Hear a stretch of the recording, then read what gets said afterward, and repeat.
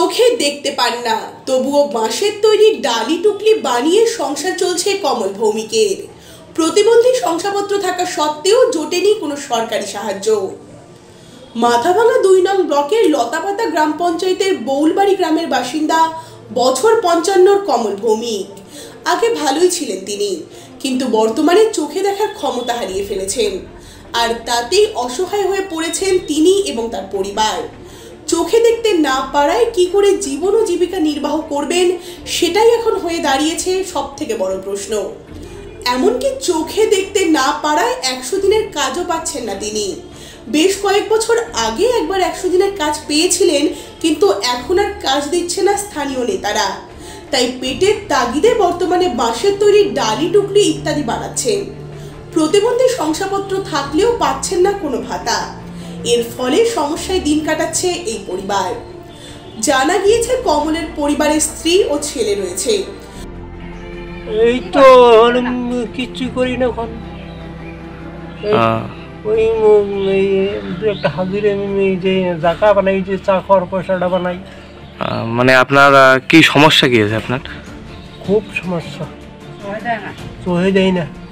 এমনি সরকারি কোনো সাহায্য না এমনি কোনো সাহায্য তো পাইনি।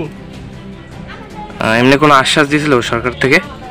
একবার দিছিল কয়েকি উম, ঘর দিব তারপরে যে তোমার প্রতিবন্ধের কার্ড বানাইছি না ইয়ে তোমার বই বানাইছি ওই বই বানাইছি পরে আর ঘরটা কিচ্ছু পাইনি।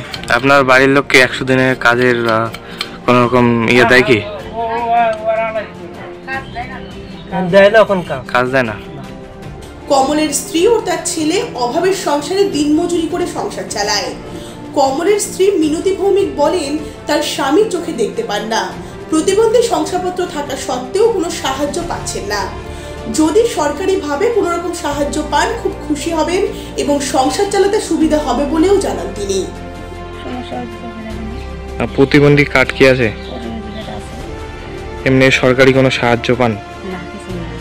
আপনাদের ওই ঘর ঠর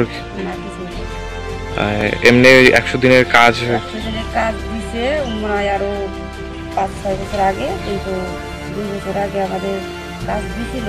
হ্যাঁ, কিন্তু কাজ করতে গিয়েছিল ও তো কাজ করতে পারে না। যাই দুই দিন গেছে আর বলছে কাজ করতে লাগবে না তোমার এমনি আমরা টাকা দিব চোদ্দ হাজার টাকা দিছিল। হ্যাঁ দেওয়ার পরে ওরা বলছে পাঁচ হাজার টাকা তুমি রাখবা আর বাদ বাকি টাকা আমাদের দিয়ে দিবা। আর ওই টাকাটা আমরা দিইনি দেখে আমাদের কাজ দেয় না। কে কে বলছে এটা?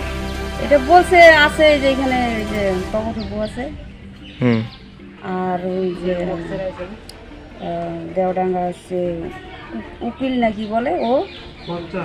কোনো কি রাজনৈতিক দলের হ্যাঁ হ্যাঁ ওরা কোন দল? এটা এই যে আগে তো তৃণমূল ছিল। হ্যাঁ। হ্যাঁ তৃণমূলের থেকে আমাদের কাজ দিত। তারপরে আমাদের কিছু দেয় না দেখে আমরা এখন তৃণমূলের ভোটটা এই ভোটটা আর কি দেই নাই বিজেপিতে দিচ্ছি আপনার বিজেপি করেন? হ্যাঁ। আচ্ছা আচ্ছা। এখন এই দুয়ার পর থেকে আমাদের কাজ কোনো কিছু দেয় না। আচ্ছা। এখন কি যাচ্ছেন আপনারা? এখন তো বিজেপিতে যাচ্ছি। না আপনি কি যাচ্ছেন? ওনার কি কোনো রকম সাহায্য? সাহায্য যদি তোমরা পারো তাহলে।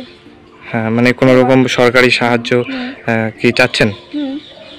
আচ্ছা এটা কোন এলাকা?